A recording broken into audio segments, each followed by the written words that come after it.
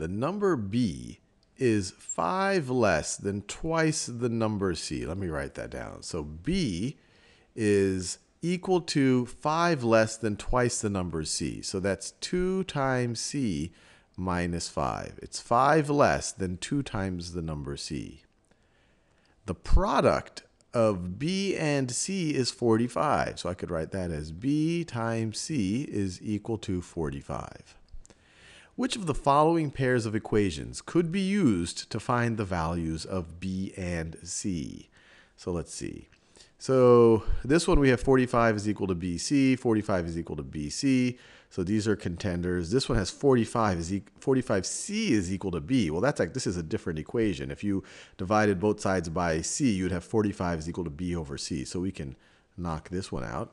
This one has 45C is equal to B. Well, once again, 45C equals B.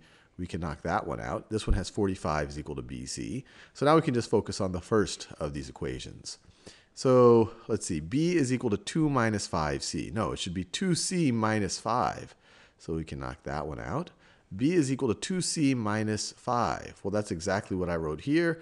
bc is equal to 45. That's exactly what I wrote here, wrote over here. So this is going to be our choice. And we can verify that this last one isn't going to work. b is equal to 2 times c plus 5. Well, if we distribute the 2, that's like saying that b is equal to 2c plus 10, which is clearly different than this first equation that I wrote up here.